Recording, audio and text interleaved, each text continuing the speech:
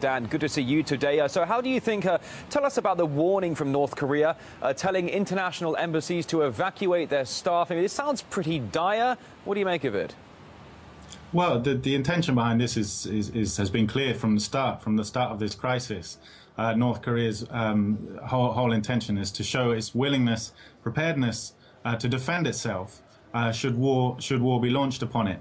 Um, of course, the every year we have these massive provocations of joint U.S. and South Korean uh, war games, exercises right on the borders of North Korea. This year, the provocations were stepped up um, to actually uh, uh simulate a, a, nuclear missile attack on North Korea. Um, B-2 bombers were used for the first time along with B-52s and F-22 bombers. So this mili massive military provocation uh, from the U.S the North Korea feels rightly threatened. It's seen what's happened to Iraq, to uh, to Libya, and so on. It feels threatened. It knows it was on the the overt, explicit hit list of um, uh, uh of the uh, the American government uh, some years ago.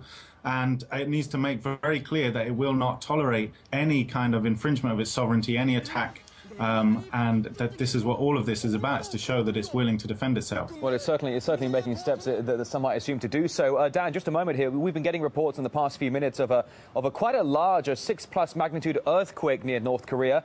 Of course, it was just a couple of months ago that the North did a, one of, another one of its underground nuclear bomb tests. Uh, can you read anything into that, or is it just pure speculation?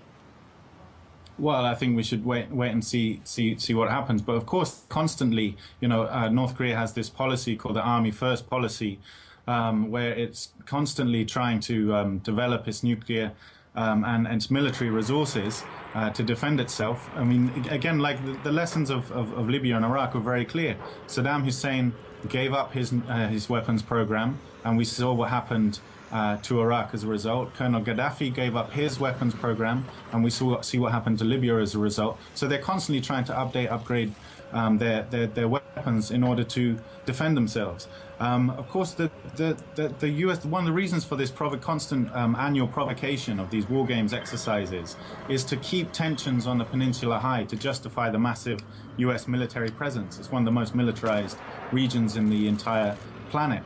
Um, and so, so this is one of the reasons they, they're, they're always doing these uh, provocations to justify. But, but Dan, Dan, if I can jump in just for a moment here, I'm sorry, I'm just so low on time here. But uh, here, here, we have this bolstering of military forces, uh, Pyongyang doing it, America uh, rushing into the region, though. I mean, do you think, is there anything Washington can do to prevent a full-scale confrontation in case North Korea really is determined to take it to the extreme? Because it's any, anybody's guess at the moment.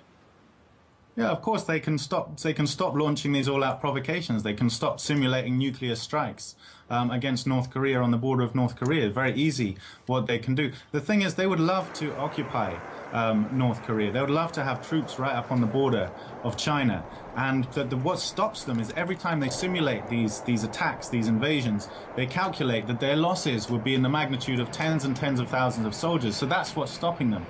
What they would dearly love then, the U.S. and its allies uh, would be for actually South Korea, for, for, for a Korea, inter-Korean war in which South Korea took all the conflict, uh, took all the casualties. Now, so this, for this reason, this is why the North is so determined to make clear that any attempt to provoke some kind of inter-Korean conflict on the part of the U.S. and its allies will, the U.S. would pay a heavy price for that. Indeed. I, mean, that, that's, I mean, that's certainly the message we are getting out of Pyongyang at the moment. Uh, Dan Glazebrook, a political writer and journalist, uh, joining us live here on RT. A great pleasure to see you today. Likewise. Thank you.